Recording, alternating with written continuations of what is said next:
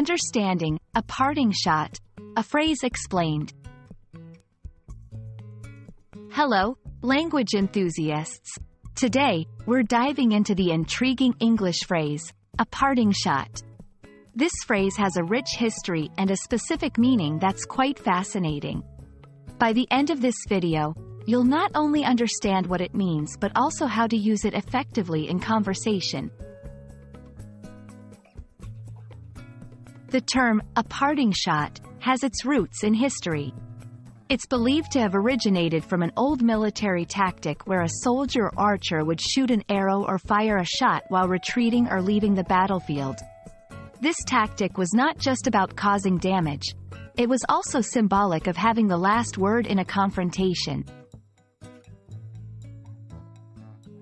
In contemporary English, a parting shot is used metaphorically.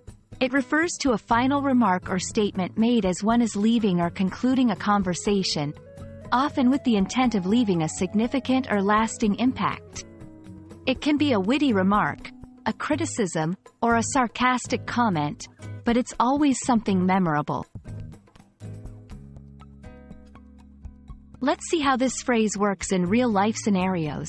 In a debate, after a heated debate, one participant might say something impactful before leaving, which is their parting shot.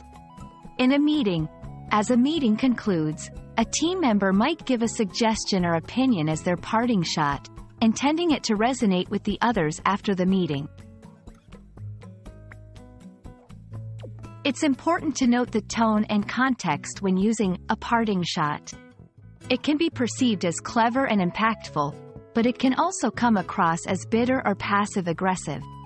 The effectiveness and reception of a parting shot largely depend on the situation and the speaker's intent.